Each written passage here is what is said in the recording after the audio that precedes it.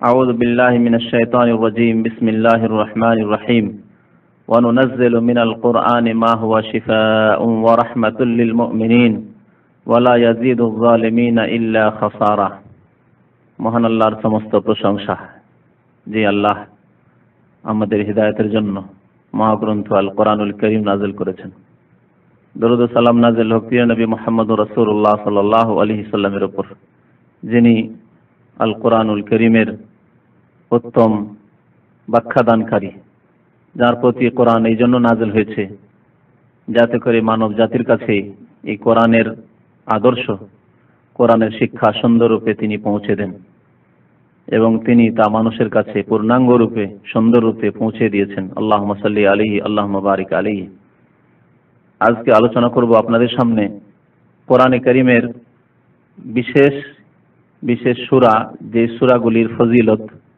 গুণাগুণের কথা সহি হাদিস দ্বারা প্রমাণিত। যাতে করে আমরা সহি হাদিসের আলোকে ওই সুরাগুলির ফজিলত, উপকারিতা এবং তার আদব কায়দাগুলি যে কীভাবে আমরা সেই সুরাগুলি থেকে উপকৃত হব বিভিন্ন দিক থেকে জানতে পারি এবং আমরা আমলকে আমাদের সুন্দর করতে পারি। এই বিশেষ বিশেষ সুরাগুলির ফজিলত সহি হাদিসের আলোকে এই জন্য আরও আলোচনা করব যে আমাদের দেশে জয়ীফ এবং জাল হাদিসের খুব বেশি ছড়াছড়ি রয়েছে। এবং সহি কথাবার্তার আলোচনা নেই বললেই চলে। আর যদি কিছু থাকে সহি কথার আলোচনা, তো সহি সঠিক কথাগুলি এমনভাবে জাল এবং জয়ীফ দুর্বল, ভিত্তিহীন, ফজিলতের মধ্যে একাকার হয়ে গেছে যে একজন মানুষের জন্য পার্থক্য করা মুশকিল। একজন মুসলিমের জন্য পার্থক্য করা মুশকিল যে কোন ফজিলতটি সহি আর কোনটি ভিত্তিহীন, কোনটি জয়ীফ, কোনটি জাল কথা, অবান্তর কথা। শুধু তাই নয়, জয়ীফ এবং জালের উপর তারা ক্ষান্ত করেনি। জাল মানে তো মিথ্যা, এতে কোনো সন্দেহ নেই। জয়ীফ দুর্বল, এসবের উপর ক্ষান্ত করেনি তারা।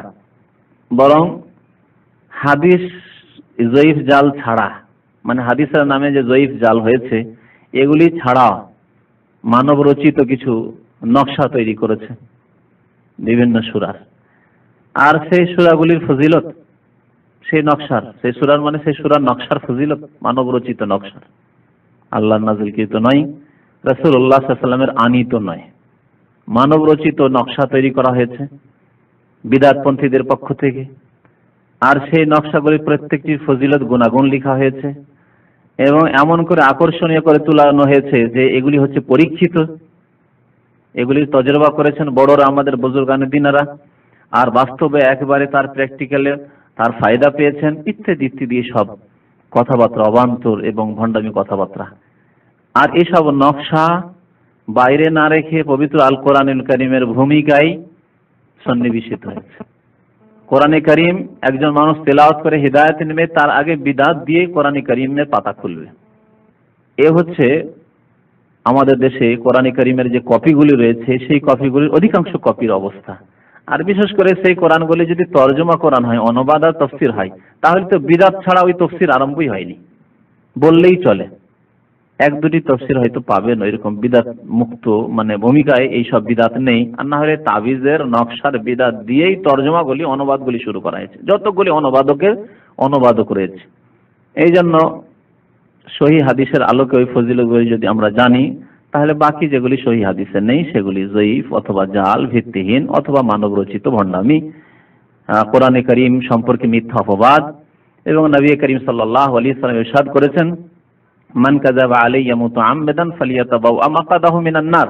যে ব্যক্তি আমার সম্পর্কে মিথ্যা কথা বলল, যে রাসূলুল্লাহ সাল্লাল্লাহু সাল্লাম অমুক সূরার এই ফজিলত বলেছেন বা ইসলামে অমুক সূরার এই নকশা রয়েছে আর ওই নকশার এই ফজিলত রয়েছে। এগুলি হচ্ছে রাসূলুল্লাহ সাল্লাল্লাহু সম্পর্কে মিথ্যা আরোপ করা। শরীয়তের নামে, ধর্মের নামে মিথ্যা কথা বলাই হচ্ছে, রসুলের নামে মিথ্যা কথা বলা। কারণ রসুল ছাড়া শরীয়ত আসতে পারে না। শরীয়ত আল্লাহ নাজল করেছেন এবং রাসুলের মাধ্যম এসছে। অন্য কোনো দ্বিতীয় মাধ্যম নেই। কেউ যদি মনে করে যে অন্য কোনো মাধ্যমেও শরীয়তের বিধিবিধান এসছে, যেটা রসুল টের পাননি, সে মুসলমান নয় যে কাফের। কি করে সে মুসলমান হবে যে মনে করে যে আমাদের দিনের সূত্র রাসুল্লাহ সাল্লাম ছাড়া অন্য কোনো সূত্রে এসছে? সে মুসলমানই নয়, রিসালাতে বিশ্বাসী নয়। আল্লাহ যে বিধান দাতা শরীয়ত নাজলকারী, আল্লাহ রাবুল আলমিন যে দিন ইসলাম নাজল করেছেন, তাতে বিশ্বাসী নয়। এবং দিনকে যে পূর্ণাঙ্গতা দান করেছে, তাতে সে বিশ্বাসী নয়। নবী সাল্লাম কি বলেছেন? যে ব্যক্তি আমার সম্পর্কে মিথ্যা কথাবার্তা ছড়ালো, সে কোরআনের সুরার ফজিলত সম্পর্কে হোক, আর নকশা বানিয়ে হোক, আর অন্য কোনো ক্ষেত্রে হোক, আজকের বিষয়বস্তু হচ্ছে কোরআনের বিভিন্ন সুরার এই সম্পর্কে, সহি ফজিলত সম্পর্কে। জালগুলি বা জয়ীফগুলি অন্যদিন আলোচনা করবে, যেহেতু এই সংকীর্ণ সময়ে সবগুলি আলোচনা করা সম্ভব নয়। ফালিয়াতাবাউ আমাকাদাহু মিনান নার। নবী সাল্লাল্লাহু বলছেন, তাহলে সে যেন তার স্থান, তার ঠিকানা জাহান্নামে তৈরি করে নেই। যে মিথ্যা কথা বলবে রসুল সম্পর্কে, আল্লাহ সম্পর্কে, কোরআন সম্পর্কে কোরআনের সুরার ফজিলত সম্পর্কে, অথবা নকশা গড়লো, নকশা তৈরি করল, নকশা ছাপিয়ে দিল কোরআনে আব্দুয়া তাবিজের কিতাবে, ফালিয়াতাবাউ আমাকাদাহু মিনান নার, সে তার স্থান জাহান্নামে প্রথম তৈরি করে নিক। অর্থাৎ সে তৈরি করে নিল, তার স্থান হচ্ছে জাহান্নাম। এই মিথ্যা কথা বলার জন্য তার স্থান জাহান্নামে তৈরি হয়ে গেল। অর্থাৎ সে জাহান্নামে যাবে। একজন মানুষ দুনিয়ার ক্ষেত্রে যদি মিথ্যা কথা বলে, মানুষের সাথে চলাফেরার ক্ষেত্রে, আদান প্রদানের ক্ষেত্রে, লেনদেনের ক্ষেত্রে, ভাই তোমাকে তোমার আমানত দিয়ে দেবো, দিল না, বা ওয়াদা খেলাফি করল, এগুলি হচ্ছে মিথ্যা। কিন্তু এই মিথ্যাগুলি কাবিরা। জানেন যে মিথ্যা কথা বলা কাবিরা। কিন্তু রসুল্লাহামের উপর মিথ্যা কথা বললে বড় কাবিরা। জাহান্নাম অনিবার্য তার জন্য। কারণ যখন নবীর নামে, ইসলামের নামে, ধর্মের নামে, দিনের নামে, কোরআনের নামে, কোরআনের সুরার ফজিলতের নামে মিথ্যা কথা যখন বলা হলো, তখন সেটি শরীয়তের অন্তর্ভুক্ত হয়ে গেল। শরীয়তের কিছু অংশ হিসাবে সেগুলো বিবেচিত হতে লাগল। মানুষ মনে করতে লাগল, এগুলো হচ্ছে শরীয়ত, এগুলো হচ্ছে ধর্মীয় ব্যাপার, এগুলো হচ্ছে ধর্মীয় কথা। অথচ ধর্ম নয় দিন নয় শরীয়ত নয় ইসলাম নয় রসুলের কথা নয় রসুল্লাহ সাল্লামের আদর্শ নয় এই জন্য নবী সাল্লাম বলেছেন, তার স্থান হচ্ছে জাহান্নাম। যে দিন সম্পর্কে, রসুল সম্পর্কে, কোরআন সম্পর্কে, ইসলামের বিধিবিধান, শরীয়ত সম্পর্কে মিথ্যা কথা বলবে, তার ঠিকানা জাহান্নাম। আল্লাহ রাবুল আলমিন কোরআনে করিমের ফজিলত রেখেছেন। সুরাবানি ইসরাইল সুরাতুল ইসরাই মহান আল্লাহ সাদ করেছেন ওয়ানুনাজ্জাল মিনাল কোরআন মা হুয়া শিফা। আমি কোরআন নাজেল করেছি যাতে রয়েছে আরোগ্যতা শিফা। আরোগ্যতা রয়েছে। আরোগ্যতা বললে মানুষ আজকাল আমরা এমন দুনিয়ামুখী যে আরোগ্যতা বললেই ভাবি যে আমাদের দেহে দৈহিক রোগের শুধু আরোগ্যতা রয়েছে। না, এই কথা তো আল্লাহ বলেননি। হ্যাঁ? আল্লাহ কি বলেছেন? শেফা আউলিল বাদান? তোমাদের দেহের আরোগ্যতা রয়েছে বা দৈহিক রোগের আরোগ্যতা রয়েছে? নাই কথা। শুধু আল্লাহ শেফা বলেছেন। না কেরা মানে অনির্দিষ্ট। অনির্দিষ্ট যখন আরোগ্যতা বলা হয়েছে, তাহলে যত রকমের আরোগ্যতা হতে পারে সবগুলিকে সামিল? আর মানুষ সবচেয়ে বেশি রোগাক্রান্ত তার অন্তর। আর আসল রোগ হচ্ছে অন্তরের রোগ মারাজুল কলুপ অন্তরে যদি রোগ থাকে, তো দেহ সুস্থ থেকে লাভ নেই। ইহকাল পরকালে শান্তি পাবে না, সে মুক্তি পাবে না আল্লাহর আজাব থেকে। জাহান্নাম থেকে মুক্তি পাবে না, কখনো জান্নাত পেতে পারবে না। তাহলে প্রথম ব্যাধি মুক্ত করতে হবে নিজের কালবকে, হৃদয়কে। ইমানের দ্বারা, ইসলামের দ্বারা সাজসজ্জিত করে স্নেক আমলের দ্বারা, সৎ আমলের দ্বারা এবং পাপ মুক্ত করে অন্তরকে, কালবকে। যত রকমের পাপের চাহিদা মনের, এগুলি হচ্ছে মারজুল কলুব, আমরাজুল কলুব অন্তরের ব্যাধি। আল্লাহ বলছেন, কোরআনে রয়েছে আরোগ্যতা আরোগ্যতা রয়েছে অন্তরের ব্যাধিগুলির। বহু রকমের ব্যাধি রয়েছে। যত পাপ রয়েছে, সবগুলি হচ্ছে অন্তরের ব্যাধি। প্রথম মানুষের অন্তর ধাবিত হয় কোনো পাপের জন্য, অথবা নেকির জন্য। তারপরে মানুষ সেই কাজগুলি সম্পাদন করে, ভালো হোক আর মন্দ হোক। তাহলে প্রথম রোগ হচ্ছে অন্তরের রোগ। একজন লোক নামাজ পড়বে, প্রথম তার অন্তর বলছে, নামাজ পড়তে হবে, উঠো এখন। দেহকে উঠতে বাধ্য করছে, চলো, ঘুম ছাড়ো। তারপরে সে উঠছে নামাজ পড়ার জন্য। এইরকম যে নামাজ পড়ছে না, তার মনে বলছে, না না পড়লেই চলে, পড়লেও চলে। না পড়লে কি হবে? কে কি করে নেবে? আল্লাহ লাঠি পড়ে যেত সাথে সাথে, তাহলে বাপ আর মা আর সারা পৃথিবীর শক্তিকে ডেকেও সে কুল কিনারা পেত না। কিন্তু আল্লাহর লাঠি তো সাথে সাথে পড়ে না। আল্লাহর মার সাথে সাথে আসে না। বিলম্বে আসে। নবী করিম সাল্লাম ইরশাদ করেছেন, ইন্নাল্লাহ লা ইউমহিলু জালিম। আল্লাহ জালেমকে অবসর দেন, ছাড় দেন কিছুদিন। আল্লাহ আল্লাহ রাসূল বলেছেন, ইন্নাল্লাহ লা ইউমহিলু জালিম। জালেমকে আল্লাহ অবসর দেন, এরকম ছাড় দেন। হাত্তা ইযা আখাযাহু লাম ইউফলিতহু। ধরেন না ধরেন না ধরেন না, এক বছর, দুই বছর, পাঁচ বছর, দশ বছর, বিশ বছর চলে যাচ্ছে ইযা আখাযাহু, যখন আল্লাহ ধরে নেন, লাম ইউফলিত তখন আর ছাড়েন না। যখন আযাব চলে আসে, সুনামির মতো যখন আজাদ চলে আসে, ভূমিকম্প যখন চলে আসে, বালা যখন চলে আসে, দূর আরোগ্য রোগে যখন রোগাক্রান্ত হয়ে পড়ে লামিয়ে ফুলে তখন আল্লাহ ছাড়েন না। তো এইভাবে আল্লাহর আজাব আসে। তো আল্লাহ রবুল্লাহ বলছেন যে, শেফা রয়েছে কোরআনে, আরোগ্যতা। মনের আরোগ্যতা রয়েছে, যার মাধ্যমে মানুষ মুক্তি পাবে। আর প্রথম এই মনকে, অন্তরকে, হৃদয়কে রোগমুক্ত করতে হবে। ইমান এবং শতামলের মাধ্যমে, ইসলামের শিক্ষার মাধ্যমে, দিনের জ্ঞান হাসিলের মাধ্যমে। ও রহমাতুল্লিল তারপরে হচ্ছে দৈহিক শেফা। দেহের যে বিভিন্ন রোগ রয়েছে, তারও শেফা রয়েছে। কোরআন বরকতময় কিতাব, আল্লাহ রাব্বুল আলমিন একাধিক আয়াতে বলেছেন, কোরআন হচ্ছে বরকতময় কিতাবুন আনজালনাহু ইলাইকা মুবারাক আল্লাহ বলছেন, এই হচ্ছে বরকতময় কিতাব যা আমি নাজেল করেছি হে নবী তোমার উপর। তো বরকতময় যখন কিতাব, এতে সার্বিক আরোগ্যতা রয়েছে, শেফা রয়েছে। ও রাহমাতুল্লিল মুমিনিন, এবং মুমিনদের জন্য এতে রয়েছে রহমত রহমত, করুণা, দয়া। এর মাধ্যমে আল্লাহর দয়া হবে, আল্লাহর রহমত নাজিল হবে, আল্লাহর করুণা হবে মানুষের উপর। ও রাহমাতুল্লিল মুমিনিন, মুমিনদের জন্য যারা বিশ্বাসী কোরআনে, কোরআনের বিধানে আল্লাহ যা নাজেল করেছেন, সেই দিনে যারা বিশ্বাসী, তাদের জন্য। এরা হচ্ছে মুমিন। ওয়ালা ইয়াজিদু যালিমিনা ইল্লা খাসারা। আর জালেমদের ক্ষতিকে বৃদ্ধি করে। এই কোরআন দ্বারা জালেমরা আরও বেশি ক্ষতি সাধিত হয়। উপকৃত হয় না। আমি একটি উদাহরণ মাঝে মাঝে দিই, এই আয়াতটি কোনো সময় তফসির করলে। যে পেট যদি সুন্দর ভালো থাকে পেটের অবস্থা, লিভার ফাংশন যদি সুন্দর থাকে, গ্যাস ট্যাস না থাকে সে পেটের রোগ এক কথায় না থাকে, তাহলে ঘি খেয়ে ফায়দা হবে। আর দুধ খেয়ে ফায়দা হবে। তাই না? আর যদি পেটের অবস্থা নড়বড়ে অবস্থা থাকে হ্যাঁ দুর্বল অবস্থা, হজম শক্তি দুর্বল, তাহলে ঘি খেলে ইল্লা খাসারা হবে, তাই না? আরও পেটের অবস্থা খারাপ হবে। ভালো হবে কি? স্বাস্থ্য ভালো হবে? না, ধরিয়ে দিবে আমশা হ্যাঁ ধরিয়ে দিবে পাতলা পায়খানা, ধরিয়ে দিবে কত রকমের রোগ, কঠিন অবস্থা হয়ে পড়বে। তো জালেমরা ওই রকমই তাহলে যোগ্য এতটুকু হইতে হবে যে আপনি চোখ খুলে সত্য মিথ্যারা যাচাই করছেন। সত্যকে সন্ধান করছেন, হক এবং বাতিলের মাঝে পার্থক্য করছেন, বিবেক বিবেচনা করছেন। এবং কোথায় সত্য রয়েছে আমি সন্ধান করছি, আমি গবেষণা করছি, আমি এই সম্পর্কে চিন্তা ভাবনা করছি যে কোথায় সত্য রয়েছে, দিন ইসলামে সত্য রয়েছে, না অন্য কোথাও সত্য রয়েছে, নামাজে সত্যতা রয়েছে, না বেনামাজি পথে সত্যতা রয়েছে, আমি এ যাচাই করছি। তো এইভাবে যদি সত্য পথ সন্ধান কেউ করে, তাহলে তাকে আল্লাহ সৎ পথ দান করবেন হুদাল্লিল মুত্তাকিন। যেন আল্লাহ বলেছেন, মুত্তাকিনদেরকে হেদায়ত করবে এই কোরআন। আর জালেমদেরকে, জালেমদের ক্ষতি বৃদ্ধি করবে। তো কোরআনে কারিমে আরোগ্যতা রয়েছে, এই কোরআনে কারিমে রহমত রয়েছে। আমাদের বিষয়ের সাথে যে সম্পর্ক, এই দুটি কথা।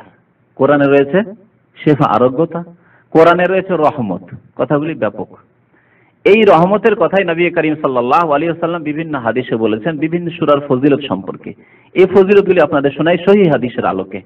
সহি হাদিসের সুরা ফাতেহার ফজিলত সম্পর্কে বেশ কিছু হাদিস রয়েছে। নবী করিম সাল্লাহ একটি হাদিসে সুরাতুল ফাতিহাতে, শেফা মিন করলে দা সুরা ফাতিহা প্রত্যেক রোগের চিকিৎসা, শেফা। তাতে রয়েছে আরোগ্যতা। সুরা ফাতিহা আরোগ্যতা বলেছেন নবী করিম সাল্লাম। কিন্তু এই আরোগ্যতা কীভাবে নিতে হবে সেটাও দেখতে হবে। যে নবী সাল্লাম যে বললেন সাহাবাই কেরামনি কি করেছে সুরা ফাতিহা কি তাবিজ বানিয়েছেন? হাতে বেঁধেছেন তাবিজ সুরা ফাতিহার? কোমরে বেঁধেছেন? গলায় বেঁধেছেন? না সুরা ফাতিহা দিয়ে দম করেছেন, ঝাড়ফুঁক করেছেন? এই ক্ষেত্রে সহি হাদিসে কোথাও পাবেন না যে তাবিজ করেছেন। সুতরাং তাবিজ করার পথটি হচ্ছে ভ্রান্ত পথ। সঠিক পথ হচ্ছে যে নবী সাল্লাহ সাল্লাম এই হাদিস শুনিয়েছেন, সাহাবারা যে ব্যাখ্যাটি বুঝেছেন এবং তার বাস্তবায়ন করেছেন সেটি হচ্ছে ঝাড় ঝাড়ফুঁক করা। যে কোনো মানুষ তার এই সুরা ফাতিহাতে রয়েছে শেফা। সুরা ফাতিহাতে তার মনে শেফা রয়েছে। অন্তর থেকে সুরা ফাতিহার তাফসির পড়ে যদি সে চিন্তা করে আল্লাহর প্রশংসার কথা, আল্লাহর কুদরতের কথা। আল্লাহ যে একক মালিক মালিক দিন বিচার দিবসের মালিক, একমাত্র আল্লাহ তোমারই ইবাদত করি, সমস্ত সাহায্য তোমার কাছে আর কারও কাছে সাহায্য চাই না। তাহলে সে কি আর মুশরিক হইতে পারে? সে কি আর কাফের হইতে পারে? তাহলে মনের আরোগ্যতা, হৃদয়ের রোগের আরোগ্যতাও সুরা ফাতিহাতে রয়েছে।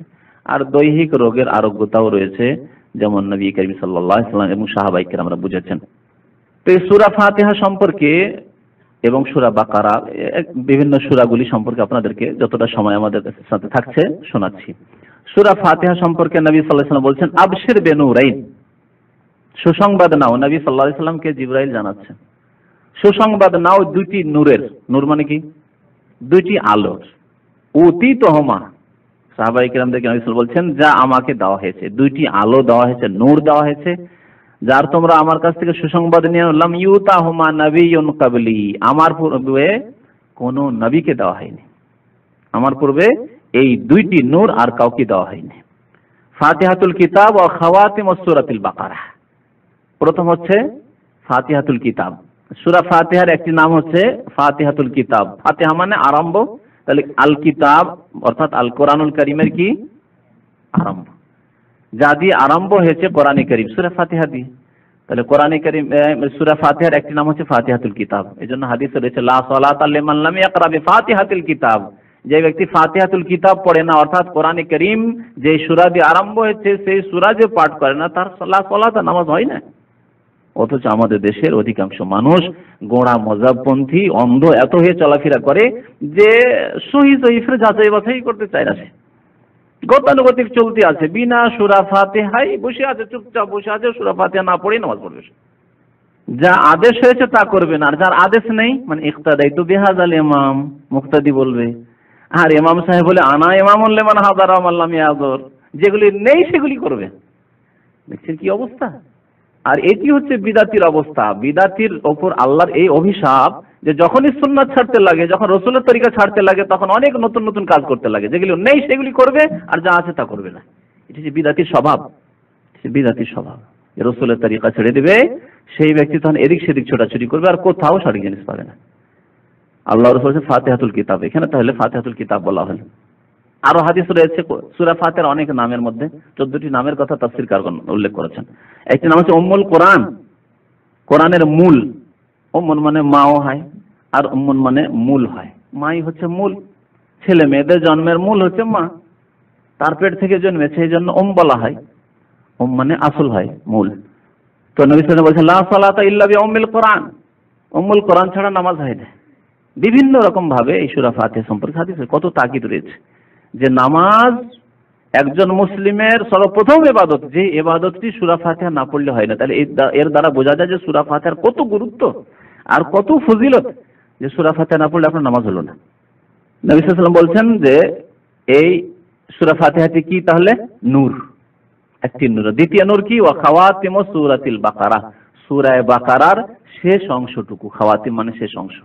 শেষ অংশ কতটুকু? দুইটি আয়াত।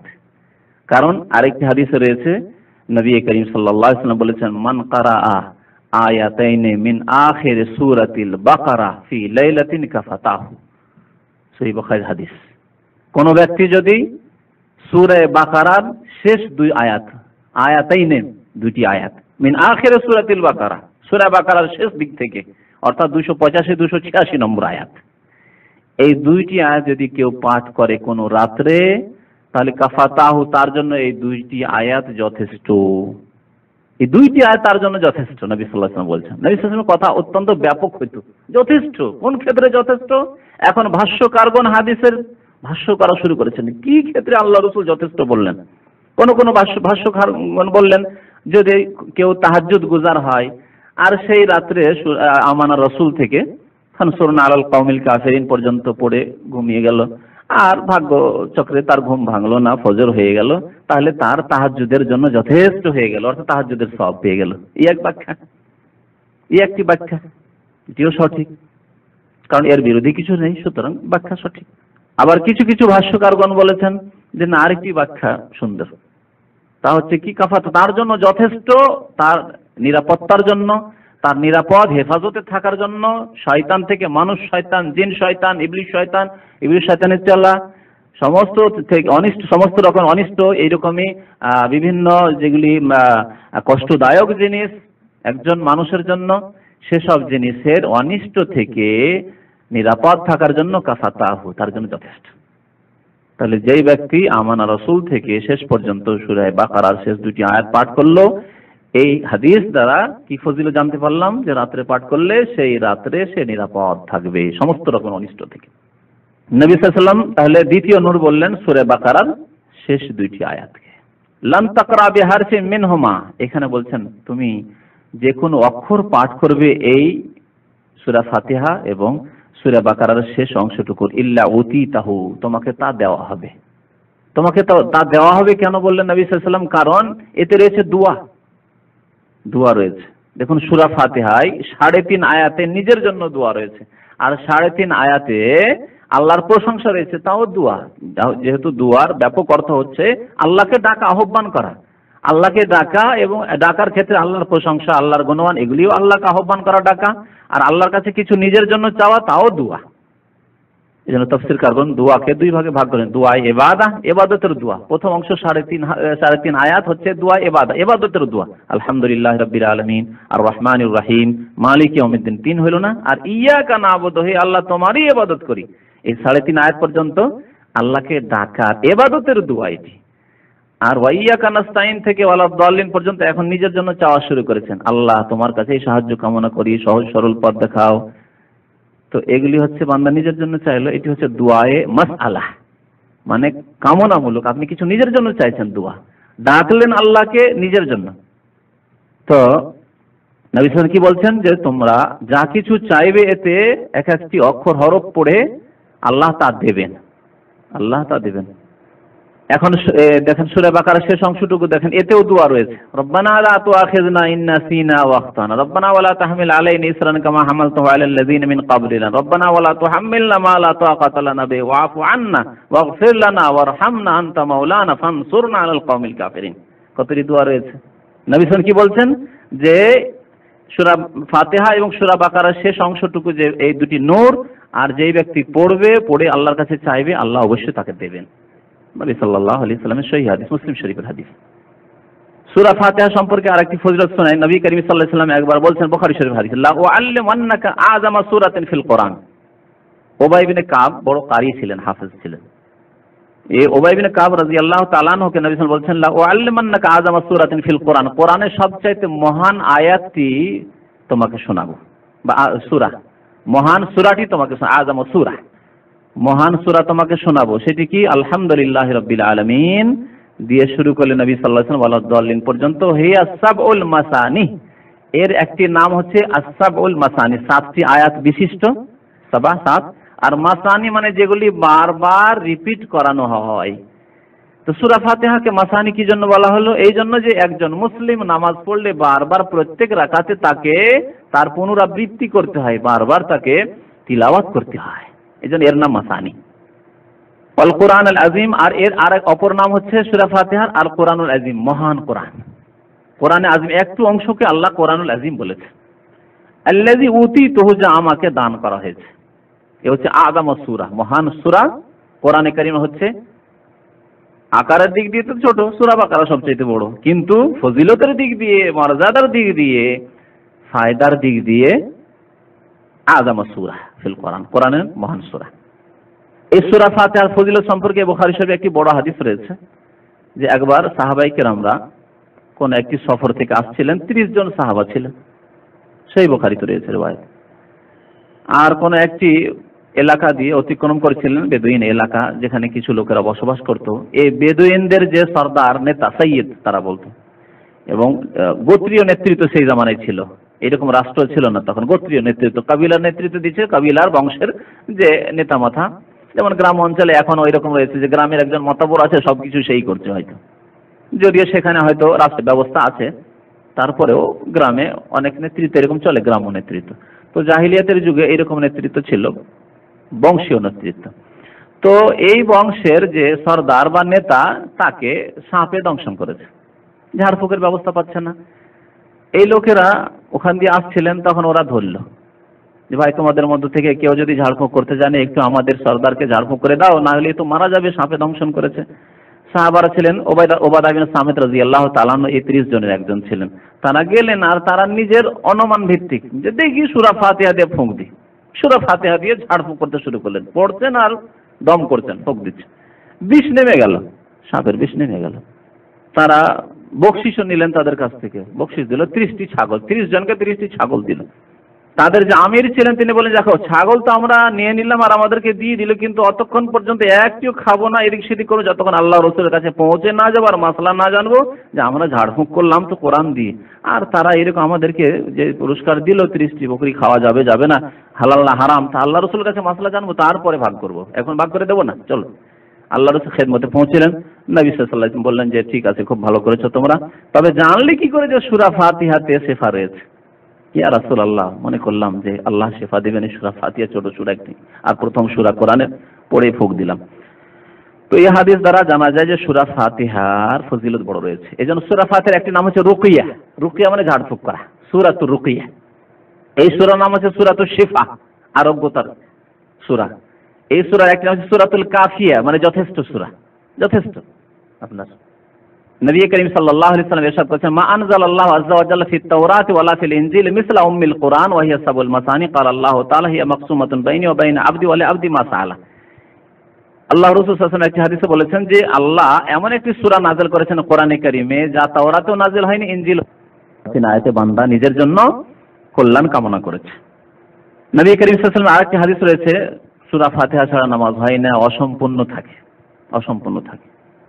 নবী বলছেন, মান সাল্লা সালাতান লাম ইয়াকরা ফিহা কোরআন। কেউ যদি নামাজ পড়ে, আর তাতে উম্মুল কোরআন না পাঠ করে, অর্থাৎ সূরা ফাতিহা না পাঠ করে। ফসলাতু খেদাজুন, তার নামাজ হচ্ছে অসম্পূর্ণ, খেদাজ। খেদাজ মানে অসম্পূর্ণ। খেদাজ কাকে বলে? খেদাজ খাদিজ, খাদিজা। খাদিজ এবং খাদিজা, এই যে আমরা নাম রাখি, মেয়েদের খাদিজা নাম রাখি। আর ছেলেদের খাদিজ নাম রাখা আল্লাহ রসুলের যুগে ছিল রাফে বিন খাদিজ। আল্লাহ রসুলের সাহাবির বাবার নাম রাফের বাবার নাম ছিল রাফে খাদিজ। তো খাদিজ বলা আরবি ভাষায় সাত মাসে যে ছেলে, মেয়ে ভূমিষ্ঠ হয়ে যায়, খাদিজ অথবা খাদিজা। মানে মায়ের পেটে সাত মাসেই যে ভূমিষ্ঠ হয়ে যায়, সেই ছেলে মেয়েকে খাদিজ বা খাদিজা বলে। নবী সাল্লাম বলছেন যে যে ব্যক্তি সুরা ফাতিহা পড়ল না, তার নামাজ কি? খেদাজ। মানে অসম্পূর্ণ তার নামাজ। তার ব্যাখ্যা নবী সাল্লাম বলছেন, গায়রা তামাম। নামাজ পূরণ হলো না তার, পূর্ণ হলো না। সুরা বাকারা ফজিলত সম্পর্কে শুনুন, আর সুরা আল ইমরান। সুরা বাকারা সম্পর্কে নবী সাল্লাল্লাহু আলাইহি একটি হাদিস বলেছে ইকরাউ জাহরা ওয়াইন আল বাকারা ওয়া সূরাত আল ইমরান। তোমরা দুইটি ফুল জাহারা মানে ফুল, দুইটি ফুলের মতো সুরাকে পড়াশোনা করো, তেলাওয়াত করো ইকরাও পড়ো। তা কি? সুরাতুল বাকারা আর সুরায় আলে ইমরান। ফাইন নাহমা তাতিয়ানি ইয়াউমাল কিয়ামতি কান নাহমা গামামাতানে আও গায়ায়াতান। এই দুইটি সূরা কিয়ামতের দিন আসবে কেমন ভাবে যেন মেঘমালা, গামামাতান, দুইটি মেঘমালার মতো। মেঘের খণ্ড আকাশে দেখতে পাবেন, বিভিন্ন খণ্ড দেখা যায়, অনেক সময় বিচ্ছিন্ন, এক জায়গায় থাকে না, বিচ্ছিন্ন হয়ে রয়েছে। এই জায়গায় একটি বিশাল খণ্ড মেঘের দেখতে পাচ্ছেন, মেঘমালার। আর আর একটি আরেক দিকে দেখতে পাচ্ছেন। তো কিয়ামতের মাঠে সুরায় বাকারা আর সুরায় আলে ইমরান এই মেঘমালার আকারে আসবে, আর মানুষ দেখবে। নবী সাল্লাম বলেছেন। আর কোন কোন হাদিস আছে যে কান নামা ফির কান মেন তাইরিন সাওয়াফ, সারিবদ্ধ পাখির দলের মতো হয়ে আসবে। সারিবদ্ধ পাখিকে আকাশে উড়তে দেখেছেন? দুশো পাঁচশো, সাতশো, হাজার হাজার পাখি একসাথে দলবদ্ধ হয়ে, আর সারিবদ্ধ যখন ওড়ে, কত সুন্দর লাগে দেখতে। তো ওই রকম ভাবে সুরে বাকারা এবং সুরে আলে ইমরান কাল কিয়ামতে পৌঁছিবে। আর এরা কি করবে? আল্লাহ রাব্বুল সূরা বাকারাকে বাক শক্তি দান করবেন। সূরা আলে ইমরানকে বাক শক্তি দান করবেন। নবী কি বলছেন? তো হাজানি আনা সাবিহিমা যারা সূরা বাকারা, সূরা আলে ইমরান বেশি বেশি তেলাওয়াত করেছে, তাদের পক্ষ থেকে এই দুইটি সূরা প্রমাণ পেশ করবে তাদেরকে জান্নাত নিয়ে যাওয়ার জন্য। তো হাজান আল্লাহর সাথে কথোপকথন করবে যে, আল্লাহ, একে আমি জান্নাতে নিয়ে যাব। কেন জান্নাতে নিয়ে যাবে? আমার আমার তেলাওয়াত করতো। এবং আরেকটি রিওয়ায়তে রয়েছে যে তেলাওয়াতের সাথে সাথে আমলও করতো। কারণ আমলবিহীন তেলাওয়াত কোনো কাজে আসবে না। এই কথাটি সবসময় মনে রাখতে হবে। কারণ আমার দেশে কিছু কারি হাফেজ পাওয়া যায়। কিন্তু আমলের বড় ত্রুটি, হারাম খায়, বিদাত করে হ্যাঁ? কত কি যে করে। হাফেজ, কারি, ফজর নামাজে নেই। আছে, এখানেও দেখা যাবে। অনেক হাফেজ কারি আছে, ফজর নামাজেরকে কোনোদিনই দেখতে পাওয়া যায় না। আশেপাশে বসবাস করে। যদি মসজিদে চাকরি করে, তাহলে তো ঠিক আছে।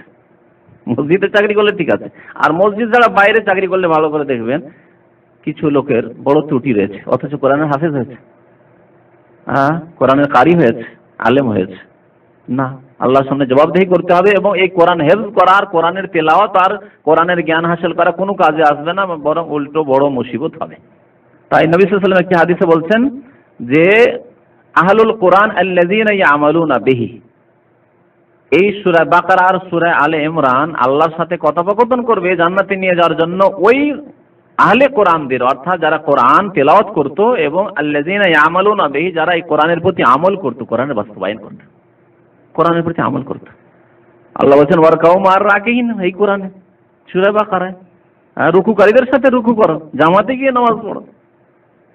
সূরা বাকারা সম্পর্কে নবী সাল্লাল্লাহু আরেকটি হাদিসে বলেছেন, ইকরাউ সূরাতাল বাকারা তোমরা সূরা বাকারা পাঠ করো, ফাইন্না আখযাহা বারাকাহ, কারণ সূরা ফাতিহা গ্রহণ করা অর্থাৎ তিলাওয়াত করা, এবং তেলাওয়াতের সাথে সাথে তফসিরও পড়ার চেষ্টা করেন। কারণ শুধু তেলাওয়াত করছেন আর কিছু অর্থ বুঝতে পারছেন না, তাহলে পুরোপুরি উপকৃত হচ্ছেন না। এজন্য একজন মানুষের সময়কে ভাগ করা উচিত। কখনো শুধু তেলাওয়াত করুক, ঠিক আছে আর কখনো কখনো তেলাওয়াতের সাথে সাথে একটি পৃষ্ঠা তেলাওয়াত করুন, ওর সাথে তরজমা এবং তফসিরটি পড়ুন, যাতে করে আল্লাহর বাণীতে আমাকে, আপনাকে কি অ্যাড্রেস করা হয়েছে, কি সম্বোধন করা হয়েছে, আল্লাহ কি বলতে চেয়েছেন, আমার জন্য কি করণীয়, কি বর্জনীয়, যাতে বুঝতে পারেন। এই ক্ষেত্রে কিছু বাড়াবাড়িও রয়েছে মানুষের আমাদের দেশে। কিছু লোকেরা মনে করে শুধু তেলাওয়াত যথেষ্ট। শুধু তেলাওয়াত যথেষ্ট। আর তেলাওয়াতের জন্য মনে হয় কোরআন নাজিল না, তবে তেলাওয়াত ইবাদত কোরআনের একটি অত্যন্ত বড় বৈশিষ্ট্য হচ্ছে যে কোরআনের তেলাওয়াতই এবাদত প্রত্যেক অক্ষরে অক্ষরে দশ নেকি। কিন্তু তেলাওয়াতের সাথে সাথে তা বোঝার চেষ্টা করতে হবে যেহেতু আল্লাহ কোরআনে সম্বোধন করেছেন। সাহাবাইকের আমরা বলছেন, যখন কোরআনের কোনো আয়াত নবী সাল্লাম পাঠ করতেন, তখন আমরা সজাগ হয়ে যেতাম, কানকে খাড়া করে দিতাম। কান খাড়া করে দিতাম। কি জন্য? যে আমরা এই চেতনা নিয়ে কানকে সজাগ করে দিতাম যে হয় কোনো আদেশ আসছে যা আমাদের করণীয়, করতে হবে, তা আমাকে শুনতে হবে। অথবা নিষেধাজ্ঞা আসছে যা বর্জনীয় আমাকে বর্জন করতে হবে, সুতরাং কান খাড়া করে শুনতে হবে। এই ছিল সালাফে সালেন সাহাবে কেরামদের আদর্শ। আর অর্থ যদি না বুঝেন, শুধু তিলাওয়াত করেন, তাহলে কোথায় কান সজাগ করলেন? আর কোথায় বুঝলেন যে আল্লাহ কি আদেশ করছেন, কি নিষেধ করছেন? সুতরাং মাঝে মাঝে তফসিরও পড়তে হবে কোরআনে। নবী সাল্লাল্লাহু বলছেন যে, কোরআনের সূরা বাকারা তোমরা পাঠ করো, কারণ তা তেলাওয়াত করা বরকত। ওয়াতারকু হাসারা, এবং তা ছেড়ে দেওয়া হচ্ছে আক্ষেপের বিষয়। ওয়ালা তাস্তাতি ওয়াহাল বাতালা, এবং জাদুকর যদি কেউ সূরা বাকারা নিয়মিত তেলাওয়াত করে, তার উপর জাদু করতে পারবে না। বাতালা তাফসির করা হয়েছে আস-সাহারা। সাহের জাদুঘর যদি জাদু করে, তাহলে জাদুর তাসির হবে না, জাদুর প্রতিক্রিয়া এফেক্ট হবে না, ওই ব্যক্তির ওপর যে ব্যক্তি নিয়মিত সুরে বাকারা তেলাওয়াত করে। মুসলিম শরীফের হাদিস। নবী আরও বলেছেন, লা তাজালু বুয়ুতাকুম মাকাবিরা। সূরা বাকারা সম্পর্কে। তোমাদের বাড়িগুলিকে কবরস্থানে পরিণত করিও না। কবরস্থানে পরিণত করে দিও না। কেন? কবরস্থানে কি হয়? কবরস্থানে কি হয় তাহলে? কোরআন তেলাওয়াত হয় না। আর এক শ্রেণি বিদাতিরা কবরস্থানে বসে তেলাওয়াত করে। কিছু কিছু এলাকা রয়েছে, ভারত উপমহাদেশ, ইন্ডিয়া, বাংলাদেশ, পাকিস্তানে যে ওরা কোরআন খানি করার ক্ষেত্রে, এত আগে বিদাত করার ক্ষেত্রে যে বাড়িতে বসে মোল্লাদেরকে নিয়ে নয়। আমার দেশে যেমন খুব প্রসিদ্ধ যে চল্লিশা করা অথবা সাত দিনে দশ দিনে, অথবা দিন না ধরে কোরআন খানি করে জান্নাতে বক্সাইতে হবে আর জান্নাত পাঠাইতে হবে মৃতকে তাই না? এই এক বিদাত তো আছেই। কিন্তু এর চাইতে বড় বিদাত হলো যে যখন দাফন কাফন হয়ে গেল, তারপরে কবরের চারিদিকে কোরআন নিয়ে বসে গেল মোল্লারা। বেশ কিছু এলাকায় আছে এই বিদাত। আর কয়েকদিন ধরে কোরআন পড়া চলতে থাকবে, কোরআন তেলাওয়াত চলতে থাকবে কবরের কাছে। কি বলছেন যে, তোমাদের বাড়িগুলো কবরে কবরস্থানে পরিণত করিও না। কবরস্থানে পরিণত করিও না। তারপরে কি বলছেন? কি অর্থে, কি সেন্সে তিনি বলছেন কবরস্থানে পরিণত করিও না? মিনাল মিনাল সূরাতুল বাকারা। কারণ শয়তান সেই বাড়িতে থাকতেই পারে না, পালায়ন করে যেই বাড়িতে সূরা বাকারার তেলাওয়াত হয়। সুতরাং তোমরা বাড়িতে যদি কোরআন তেলাওয়াত না করো, তাহলে কেমন হয়ে যাবে বাড়িগুলি? কবরস্থানের মতো হয়ে যাবে। কবরস্থানে যেমন তেলাওয়াত হয় না, নিষিদ্ধ, ঠিক তেমনই বাড়িতেও তোমরা তেলাওয়াত করছ না। তাহলে কবরস্থানের মতো করে দিলে তোমরা। বুঝতে পারলাম তো? তাহলে এই হাদিস দ্বারা আমরা বিভিন্ন দিক জানতে পারলাম। এক তো জানতে পারলাম যে সুরা বাকারের ফজিলত। তার সাথে জানতে পারলাম যে বাড়িতে বেশি বেশি সুরা বাকারা তেলাওয়াত করা উচিত। তার সাথে জানতে পারলাম কি? যে কবরস্থান কোরআন তেলাওয়াতের জায়গা নয়। কবরস্থান কোরআন তেলাওতে জায়গা নয় যে কবরের কাছে গিয়ে বসে যাবে আর কোরআন তেলাওয়াত। আর এই কবর সাধারণ মানুষের কবর হোক আর পীরের কবর হোক, তাহলে ওই যে মোজাবের গদ্দিনাসিনরা নিয়ে বসে আছে, মাজার নিয়ে বসে আছে, আর কোরআন নিয়ে বসে আছে, আর লোকজনকে দেখাচ্ছে যারা ওরসে আসছে, আর মাজার ভক্ত যারা ওই বিরাতিরা আসছে, তাদেরকে দেখাচ্ছে যে আমরা এ আল্লাহর জন্য ফানাফিল লাগিয়েছি দেখো না, সবসময় কোরআন নিয়ে এই মাজার শরীফে বসে আছি, তখন কেউ দান খায়রাত করছে হ্যাঁ নজর নিয়াজ করছে। এই যে পেটের ব্যবসা, এই মাজার কবর তো আর কোরআন পড়ার স্থান নাই। কোরআন তেলাওয়াতের জায়গা নাই। কোরআন তেলাওয়াতের জায়গা মসজিদ আর না বাড়ি। সুরায় বাকারা সুরা আল ইমরান আর সুরা ফাতিহার ফজিলত সম্পর্কে জানতে পারলাম। সুরা সুরা আল ইমরানের ফজিলত বললাম যে কাল কিয়ামতে এই করবে। হ্যাঁ, বান্দার পক্ষ থেকে আল্লাহর সাথে কথোপকথন করবে এবং হুজ্জত পেশ করবে প্রমাণ পেশ করবে যে আমার তেলাওয়াত করেছে। এখন শোনায় সুরা কাহাফের ফজিলত। সুরা কাহাফের বিশেষ ফজিলত সহি হাদিস রয়েছে। সুরা কাহাফ সম্পর্কে নবী সাল্লাল্লাহু আলাইহি সাল্লামের হাদিস রয়েছে, মান হাফেজ আশারা আয়াত মিন আউয়ালি সূরাতিল কাহাফ যে ব্যক্তি সূরা কাহাফের প্রথম দিক থেকে 10টি আয়াত মুখস্থ করবে।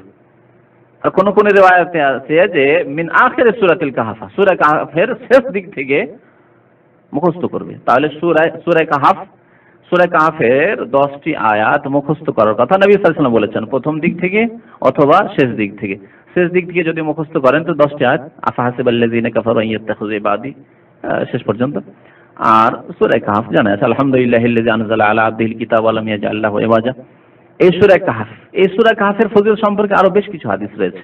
নবী সাল্লাল্লাহু এই হাদিসে কি বলেছেন? ওয়াসিমা মিন ফিতনাতিদ দাজ্জাল যে ব্যক্তি 10টি আয়াত মুখস্থ রাখল সূরা কাহাফের, সেই ব্যক্তি দাজ্জালের ফিতনা থেকে নিরাপদ থাকবে।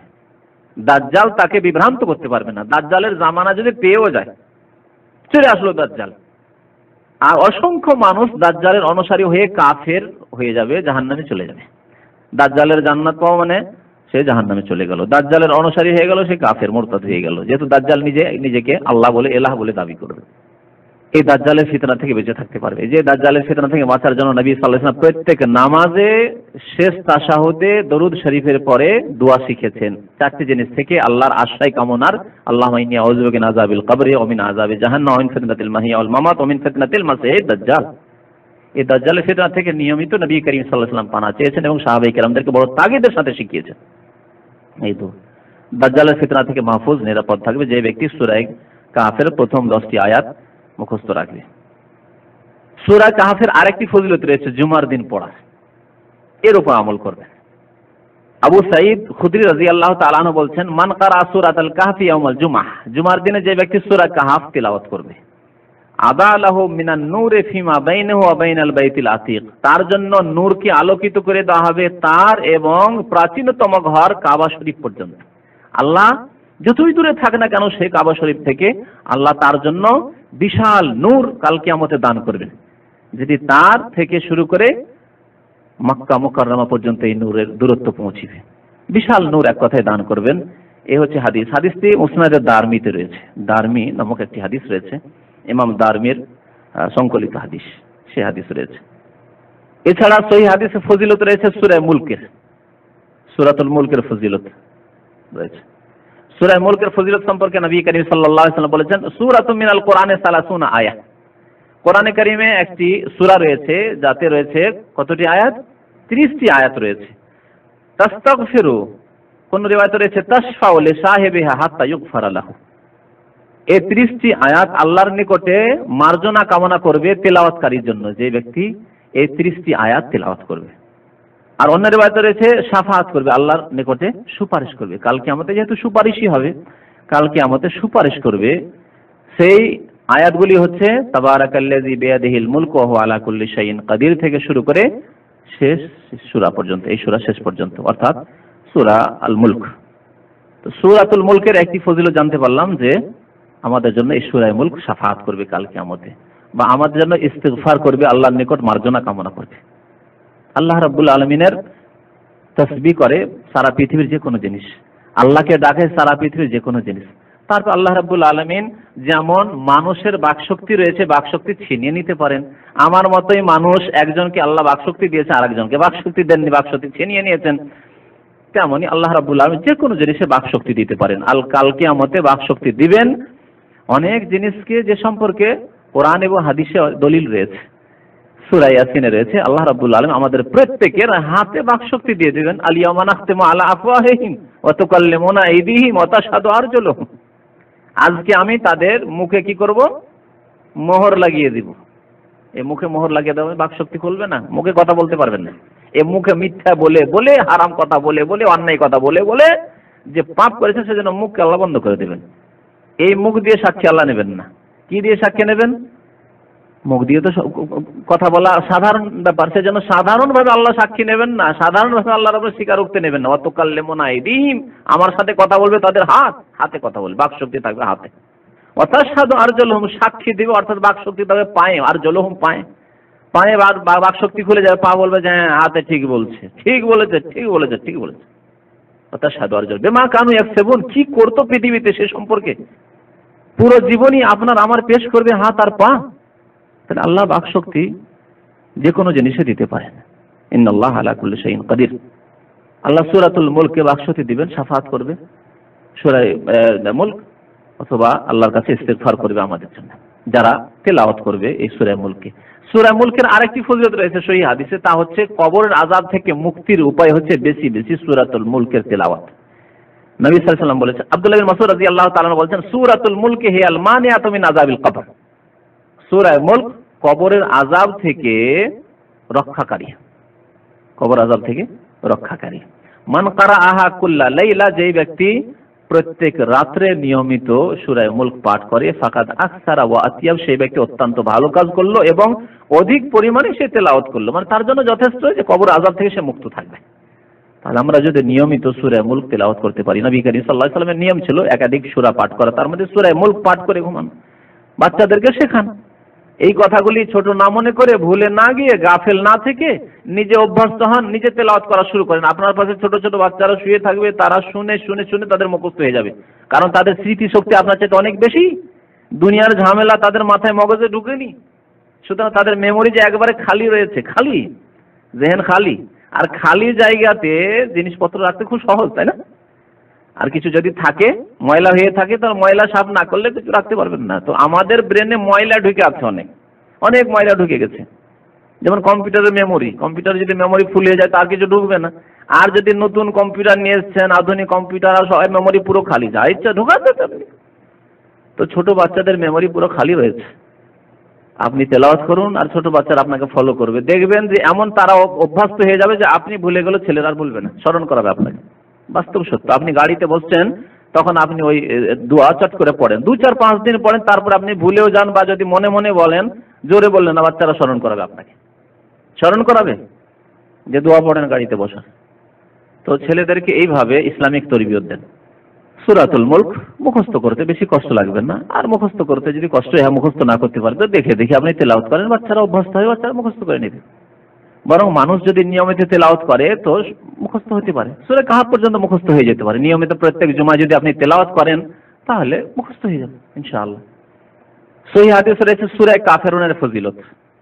সুরায় কাফেরন সম্পর্কে একটি হাদিস রয়েছে যে নবী করিম সাল্লাল্লাহু আলাইহি সাল্লাম একবার একটি লোককে সূরা কাফিরুন পড়তে শুনলেন। সামিয়া রাসূলুল্লাহ সাল্লাল্লাহু আলাইহি ওয়াসাল্লাম রাজুলান ইয়াকরাউ আল কাফেরুন সূরা কাফিরুন পাঠ করছে এক সাহাবী। আল্লাহ রাসূল শুনতে পেলেন। তারপরে বললেন আম্মাহাজা ফাকাদ বারিয়া মিনাশ শিরক। শুনে বললেন যে, এই ব্যক্তি, যে ব্যক্তি সূরা কাফিরুন পাঠ করল, সেই ব্যক্তি শিরক থেকে মুক্ত। শিরক থেকে সম্পর্ক ছেদের ঘোষণা করল। বুঝে সুঝে যদি পড়ে, তাহলে শিরক মুক্ত। তবে আমাদের উপমহাদেশের মতো যারা অনারব মানুষ, সুরা কাফেরুনও পড়তে আছে, আর কবর পূজাও করতে আছে, কবরে সেজদাও করছে, ইয়া গাউসুল আজম মাদাদও বলছে, ইয়া তিস্তি, ইয়া আলী, ইয়া হুসাইনও করছে, আর সুরা কাফেরুনও পড়ছে। এরা তো শিরক মুক্ত হইল না। কারণ বুঝে পড়েন না। যদি বুঝতো, কুলিয়া আইহাল কাফেরুন। হে, বলো, হে কাফেরগণ, লাবুদ মাতাবুন, তোমরা যে সবের পূজা করো, এই মাজার পূজা, পীর পূজা, দেবী দেবতার পূজা, গাছ পূজা, নদী পূজা, এসব করি না। লাবুদ মাতাবুন, এই সবের পূজা আমি করি না, যে সবের পূজা বাতিলের পূজা তোমরা করো। ওলা আন্তুম আবুদু না মাহবুদ আর তোমরাও আমার এক আল্লাহর ইবাদত বন্দী করবে, তোমরা মুশরিক হয়েই থাকবে এরকম। ওলা না আবেদু মাহবাদ তোমরা যে সবের পূজা করো তার ইবাদত আমি কোনোদিন করতে পারি না, এখন করছি না আগামীতে কোনোদিন করতে পারি। এই আশা করি না যে কোনোদিন তোমাদের সাথে কম্প্রোমাইজ করতে পারি, সমঝোতা করতে পারি। এই সমঝোতা শিরকু বড়ির সাথে সমঝোতা হবে না। ওয়ালা আনা আবেদু মাহবাদ আগামীর জন্য বলা হচ্ছে যে, সমঝোতার আশা করিও না যে আগামীতে কোনোদিন আমাকে নরম করে দেবো। আনা আবেদু মাহবাদতুম ওয়ালা আনতুম আবেদুনা মাহবুদুল্লাহ কুম দিনুকুম ওয়ালিয়া দিন। তোমরা তোমাদের বাতিল দিনেই থাকো, জবরদস্তি করার কিছু নেই, যেহেতু ধর্ম ধর্মের ক্ষেত্রে জবরদস্তি নেই। না আসলে করার কিছু নেই, দিন সত্য দিনে। ওয়ালিয়া দিন। কিন্তু আমার জন্য আমার দিন হেফাজতে থাকবে। আমার দিনের সাথে কোনো সমঝোতা চলবে না। তোমাদের দিনের সাথে কোনো কম্প্রোমাইজ নেই যে আমার দিনের কিছু ছাড় দিয়ে, কিছু হালকা করে দিয়ে তোমাদের সাথে সমঝোতা করব। তাহলে শির্ক এবং আহলে শির্ক, অর্থাৎ মুশরিক শির্ক এবং মুশরিকের সাথে সম্পর্ক ছেদের ঘোষণা করা হয়েছে সুরে কাফেরুনে। যে ব্যক্তি ঘোষণা করতে পারে, সে কি আর শির্ক করতে পারে? এই জন্য নবী সাল্লাল্লাহু বলেছেন যে ব্যক্তি সুরে কাফেরুন পাঠ করল ফাকাত বারিয়া মিনা শির্ক। সে শির্ক মুক্ত হয়ে গেল। এই জন্য নবী সাল্লাম বিভিন্ন নামাজগুলিতে, বিশেষ করে যে নামাজগুলি মানুষ ঘুমের পর, ঘুম ভাঙলেই প্রথম নামাজ যে নামাজটি শুরু করে ঘুম ভাঙলো, এখন আবার অঙ্গীকার করেন আপনার। অঙ্গীকারকে নতুন করে রিপিট করেন যে হ্যাঁ আমি শির থেকে সম্পর্ক ছেড়ে ঘোষণা করছি। তাই না? এই জন্য ফজরের সুন্নত, যখনই ঘুম ভাঙলো, আজান হয়েছে ফজরে, উঠলেন সুন্নতে, কি পড়তে হবে? প্রথম সুরায় কাফেরুন তারপরে সুরাই ইখলাস। আর এই দুই সুরাই হচ্ছে তৌহিদের, আল্লাহর একত্ববাদের ঘোষণা সুরা আর শির্ক থেকে সম্পর্ক ছেদের সুরা ঘোষণা সুরা, তৌহিদের ঘোষণা সুরা। সুতরাং একজন মমিন ঘুম থেকে উঠে আল্লাহকে বলছে, আল্লাহ, আমার তোমার ছাড়া আর কারোর সাথে সম্পর্ক নেই। আল্লাহ আহাদ, আল্লাহ সামাদ, লাম ইয়ালিদ ওয়া লাম ইউলাদ ওয়া কুফুয়ান আহাদ। আল্লাহর সমতুল্য কাউকে মনে করি না আমি। লা আবুদু মা তাবুদুন, এই বাতিলের সাথে আমার কোনো সম্পর্ক নেই। এই রহস্যের কারণে এই, এই- এই এই নামাজগুলিতে নবী সাল্লাল্লাহু আলাইহি ওয়াসাল্লাম কাফেরুন আর ইখলাস শিক্ষা দিয়েছেন। এইরকমই তওয়াফ করলেন গিয়ে কাবা শরীফ তওয়াফ করেন, তওয়াফের পরে দুই রাকাত নামাজ পড়ে এই সূরাগুলি পড়েন না। ওই স্মরণ করে, ওই পুরনো ইতিহাসকে স্মরণ করে যে, হে মক্কার মুশরিকেরা, তোমরা এই কাবা শরীফে তিনশো ষাটটি মূর্তির পূজা করতে আমি ঘোষণা করছি ইয়াই হল কাফন লাবুদু মা তাবুদু। সেই জন্য তওয়াফের পরে কাফেরুন আর ইখলাস পড়ে তৌহিদের ঘোষণা, আর শিরক থেকে আর মুশরিকের থেকে সম্পর্ক ছেদের ঘোষণা। তো সূরা কাফেরুনের ফজিলত সম্পর্কে নবী সাল্লাল্লাহু এই কথাই বলেছেন। সূরা কাফেরুন সম্পর্কে আরও আল্লাহ রাসূল বলেছেন, ইকরা কুলি আইয়াহাল কাফেরুন তুমি কুলি আইয়াহাল কাফেরুন পড়ো। সুম্মা নাম তারপরে ঘুমিয়ে যাও। আলা খাতিমাতিয়া এটি হচ্ছে সম্পর্ক ছেদের ঘোষণা। এ হচ্ছে সম্পর্ক ছেদের ঘোষণা। তাহলে ঘুমাবার সময় আল্লাহকে আল্লাহর হাওয়ালা করে দেন নিজেকে, আল্লাহর সুপুর্দ করে দিন। আল্লাহ, ঘুমিয়ে পড়লাম, এরপরে হয়তো নাও জাগতে পারি। শির্ক থেকে সম্পর্ক ছেদের ঘোষণা করে আমি ঘুমাচ্ছি। সেটাই কাফের পড়ে ঘুমাইলাম আর যখন ঘুম ভাঙলো, আল্লাহ, তুমি জাগিয়ে দিয়েছ, আবার পুনরাবৃত্তি করছে যে শিরকের সাথে আমার কোনো সম্পর্ক নেই, মুশরিকের সাথে কোনো সম্পর্ক নেই। ফজরের সুন্নতে এই দুইটি সূরা পড়ার মাধ্যমে। সূরা ইখলাসের ফজিলত, সূরা ইখলাসের ফজিলত সম্পর্কে বেশ কিছু হাদিস রয়েছে। নবী করিম সাল্লাল্লাহু আলাইহি ওয়াসাল্লাম একটি হাদিসে বলছেন, সাহাবাই কেরামদেরকে সম্বোধন করেন আয়াজ আহাদুকুম আন ইয়াকরা কোরআন? আচ্ছা তোমাদের মধ্যে কেউ কি অপারগ হয়ে যাবে কোরআনের এক তৃতীয় অংশ পড়তে? প্রত্যেক রাত্রে। প্রতিটি রাত্রে তোমাদের কাউকে যদি বলা হয় এক তৃতীয় অংশ কোরআন তেলাওয়াত করতে হবে, তাহলে তোমাদের কেউ কি অপারগ হয়ে যাবে? মানে তোমরা কি পারবে না তা করতে? নবী আলাইহি সাল্লাম জিজ্ঞেস করছেন ফি লাইলা, ফাশাক্কা যালিকা আলাইহিম? সাহাবাই কেরামরা দেখ, তাকাচ্ছেন যে কি জবাব দেবেন? কি করে বলব যে পারব? দশ পারা। এক তৃতীয় অংশ কোরআন পাঠ মানে দশ পারা কোরআন পাঠ। প্রতি রাত্রে আল্লাহ রসুলের সাথে ওয়াদা করে নিলাম যে দশ পারা কোরআন পড়ব আর পড়তে পারলাম না। তো মুশকিল। কেমন করে বলব এই কথা? নবী সাল্লাহ সাল্লামের সাহাবারা একটু মনে ভারী মনে করছেন যেন, জবাব দিচ্ছেন না। ওয়াকালু, তারপরে তার সাহাবারা বলছেন আইয়ো না ইয়তিকো জালে কি আর রাসূলুল্লাহ? আমাদের কে নিয়মিত এরকম পারবে যে দশ পারা করে ডেলি কোরআন পড়বে? সম্ভব নয়। নবী করিম বলেন, ফাকাল আল্লাহু আহাদ, আল্লাহু সামাদ তাদেলু সুলুসাল কোরআন। একুল হু আল্লাহু আহাদ, আল্লাহু সামাদ, লাম ইয়ালিদ ওয়া লাম ইউলাদ ওয়া লাম ইয়াকুল লাহু কুফুয়ান আহাদ তাদেলু সুলুসাল কোরআন। কোরআনের ওয়ান থার্ডের সমান, এক তৃতীয় অংশের সমান, দশ পারা সমান। নবী সাল্লাল্লাহু আলাইহি বলেছেন যে, কোরআনের এক তৃতীয় অংশের সমান। কোন দিক দিয়ে সমান নবী সাল্লাল্লাহু ব্যাখ্যা করেননি?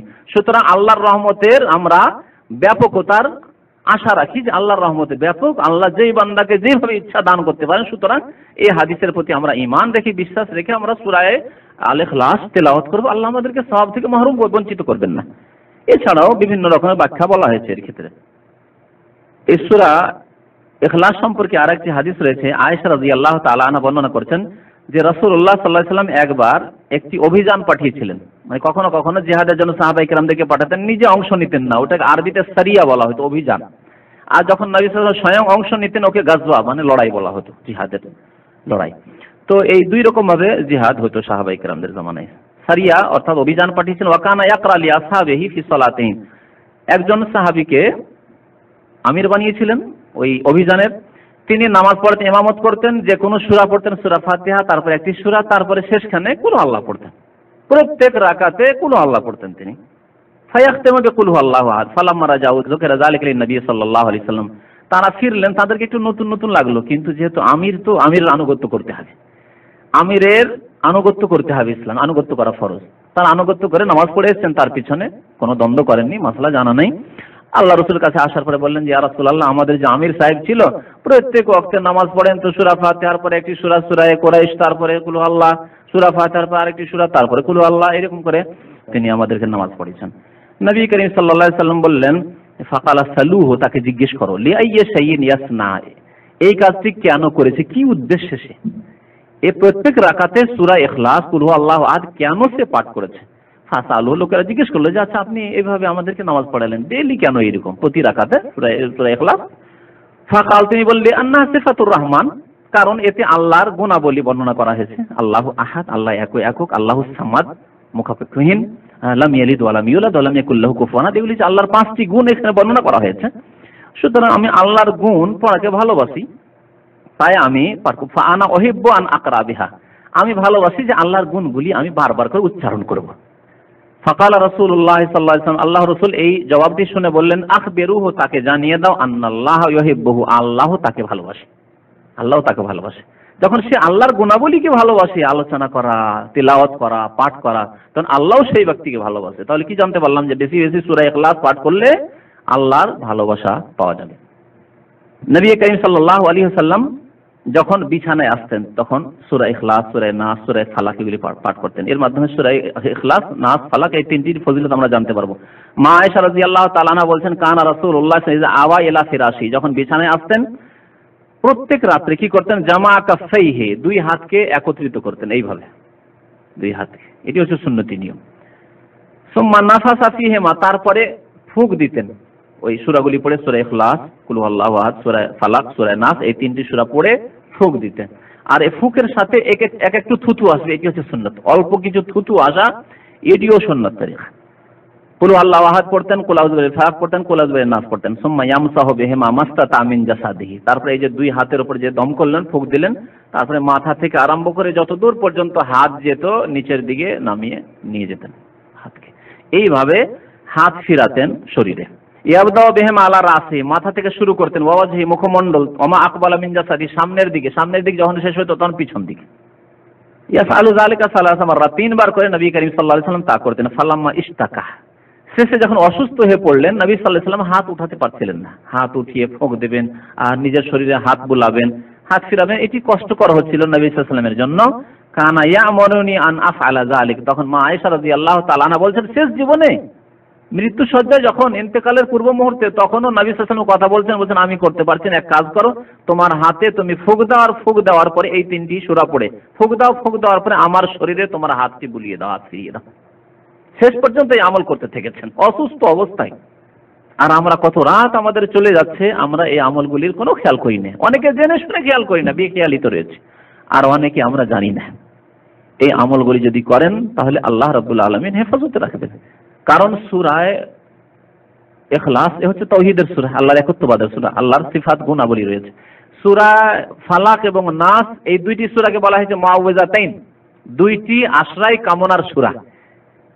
সমস্ত রকমের অনিষ্ট থেকে পৃথিবীতে যেসব জিনিসের অনিষ্ট রয়েছে, সমস্ত রকমের অনিষ্ট থেকে আল্লাহর কাছে আশ্রয় কামনার জন্য এই দুইটি সুরা আল্লাহ নাজল করেছে নবী করিম সাল্লামকে জাদু করেছিল এক ইহুদি নবী দিবিনুল আসাম।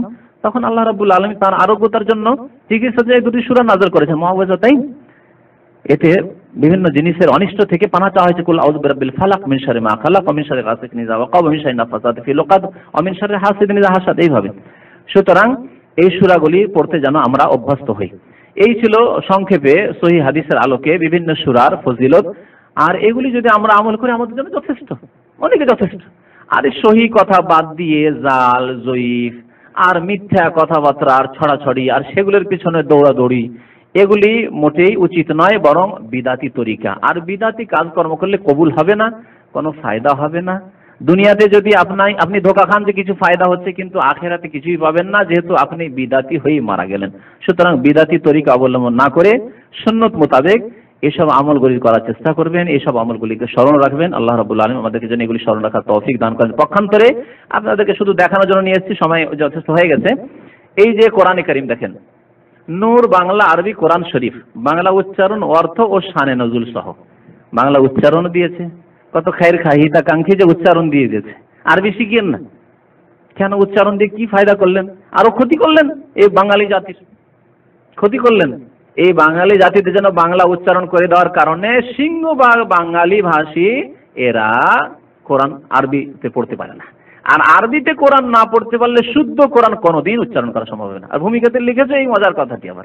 উচ্চারণই যে করছে, আর তারপর বলছে অনেক ওলামা এটাকে নিষেধ করেছেন আরাম করেছেন, কারণ কোরআন যদি বাংলায় লেখা হয়, সেটি শুদ্ধ উচ্চারণ হবে না। আসলে তাজবিদে উচ্চারণ হবে না। ভাই, ক আর ক, কেমন করে পার্থক্য করবেন আপনি? হ্যাঁ? সিন আর শিন সদ আর সা আছে কোনো পার্থক্য? বাংলায় কোনো পার্থক্য করার উপায় নেই যে সায়ে আর সদে আর সিনে আর শিনে পার্থক্য করবেন। তাহলে বাংলায় লিখে কেমন করে উচ্চারণ শুদ্ধ হবে? কখনো হবে না। সুরা এখলাস কোন কোন ক্ষেত্রে নবী করিম সাল্লাল্লাহু আলাইহি পড়েছেন? তা মনে রাখতে হবে, কেন এটা হচ্ছে আমাদের আমলের ক্ষেত্র। কোন কোন ক্ষেত্রে নবী সাল্লাল্লাহু আলাইহি পড়েছেন?